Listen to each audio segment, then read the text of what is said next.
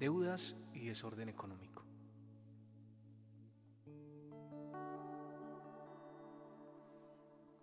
Es común en, pues en un país como el nuestro, y bueno, no solo en un país como el nuestro, sino alrededor del mundo, eh, por tantas cosas, por las guerras, por los problemas económicos de los países en los que vivimos, tener nosotros también problemas económicos. Y a veces eh, nos toca pedir prestado dinero para suplir una deuda. Es decir, vamos a una deuda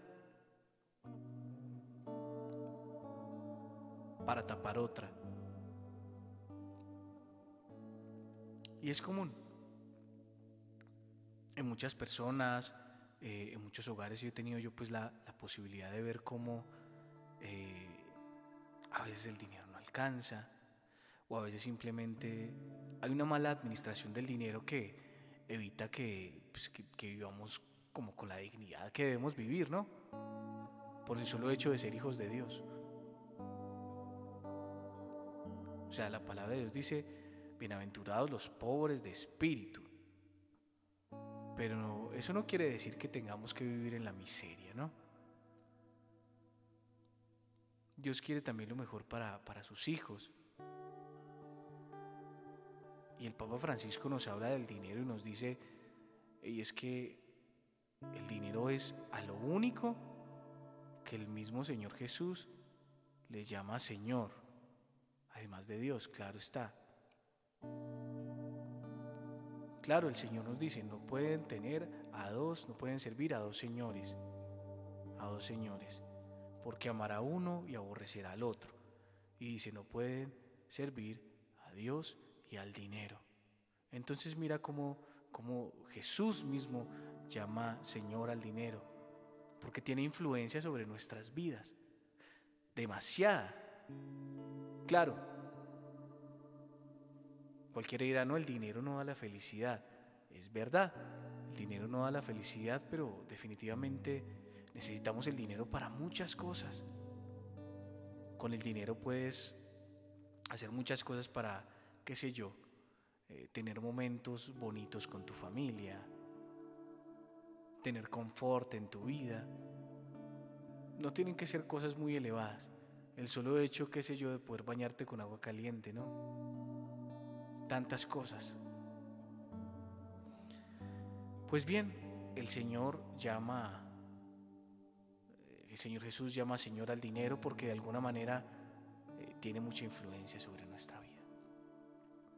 Y el Papa Francisco lo recalca. Y él dice, es mejor tener el dinero en el bolsillo y no en el corazón. Y también dice la palabra de Dios que la raíz de todos los males es el amor al dinero. El dinero en sí no es malo. Lo malo es cuando nos apegamos, cuando nos aferramos, cuando amamos el dinero, cuando amamos el poseer, las riquezas.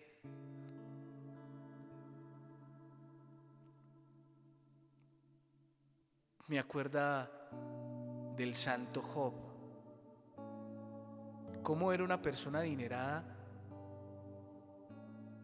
que pierde todo, pero nunca reniega de Dios. Y nunca reniega de Dios porque él no tenía la esperanza en sus riquezas. Él no tenía la esperanza en todas sus cabezas de ganado, en todo su dinero, en sus propiedades.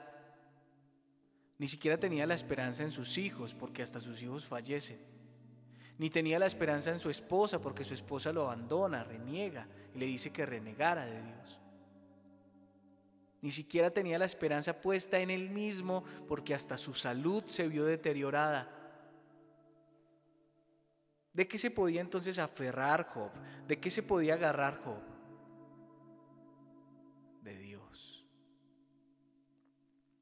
Es muy cierto. Es muy cierto, la raíz de todos los males es el amor al dinero. Y yo podría arriesgarme a decir por eso también llegan las deudas.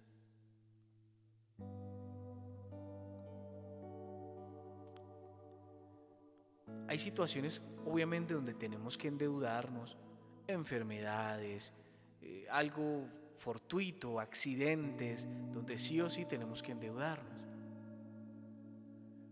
Pero también hay situaciones donde las deudas, las afugias económicas que vivimos es por una mala administración del dinero. Y es que en el colegio y muchas veces en la universidad no nos enseñan a administrar el dinero.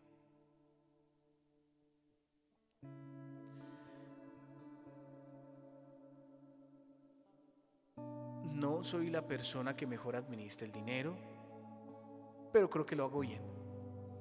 Y no me voy a poner de ejemplo porque no está bien. Pero en mi experiencia, la palabra de Dios, el nutrirme con la palabra de Dios, el leer la palabra de Dios, el entender cómo Jesús se relacionaba con el dinero, el entender cómo Jesús pagaba lo que tenía que pagar, al César lo que es del César, a Dios lo que es de Dios. Cómo Jesús vivía la providencia cuando manda a Pedro a pescar porque tenían que pagar un impuesto y Pedro va, saca un pescado y dentro de ese pescado había dinero para pagar. Cómo Jesús vivía también de esa providencia divina. De alguna forma nos enseña a nosotros cómo relacionarnos con el dinero no teniéndolo en el bolsillo, sino teniéndolo en el corazón. Como si tenemos que entregar a Dios, hay que entregarle. Y dice la palabra de Dios que hay que dar, pero no dar tacañamente, porque el que da tacañamente siembra tacañamente, eh, recoge tacañamente. Sino dar con abundancia, sino entregar y no, solamente, y no solamente se habla del dinero, sino del tiempo. No entregar tacañamente nuestro tiempo, sino en abundancia.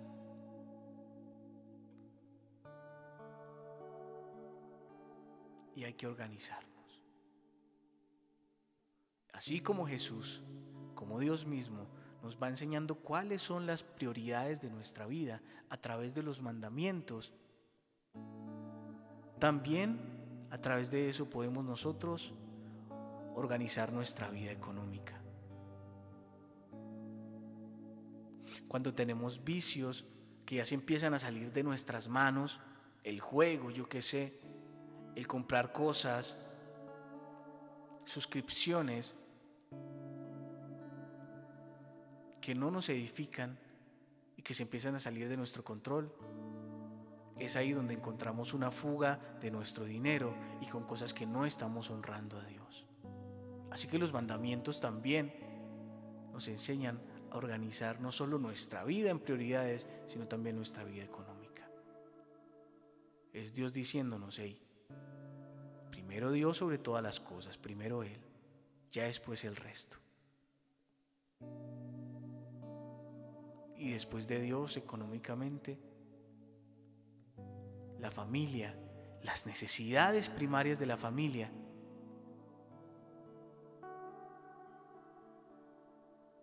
Y después todo lo que venga. Es Dios enseñándonos esas prioridades a través de los mandamientos y a través de su palabra.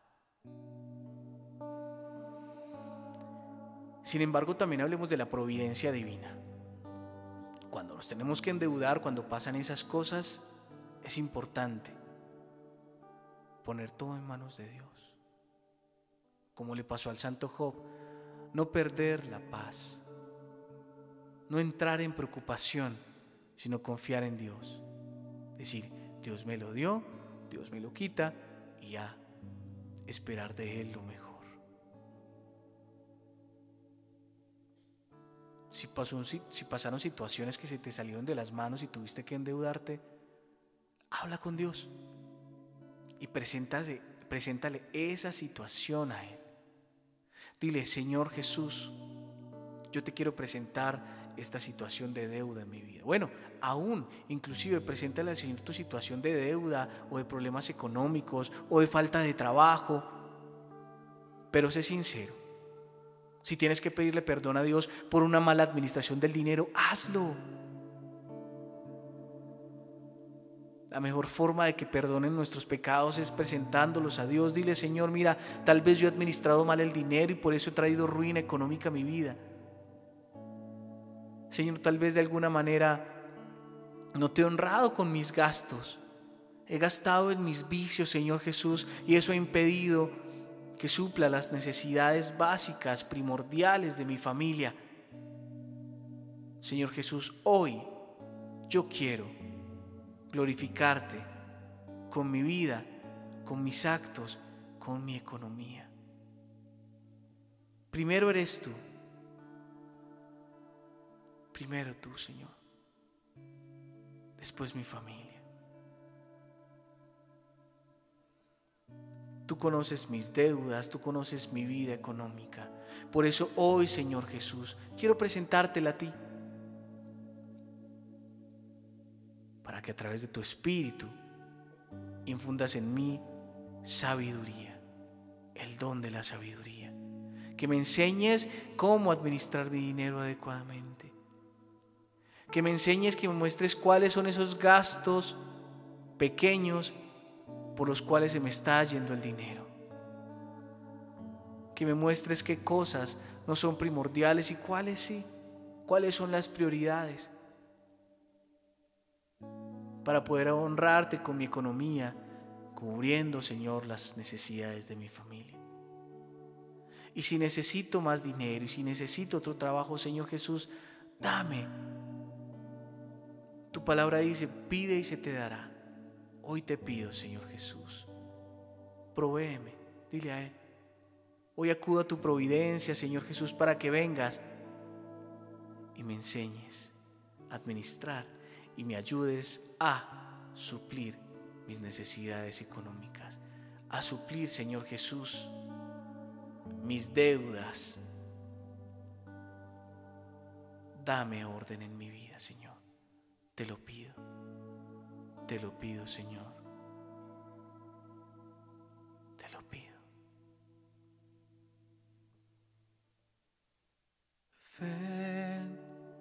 Espíritu de Dios, lléname, Señor, con tu presencia.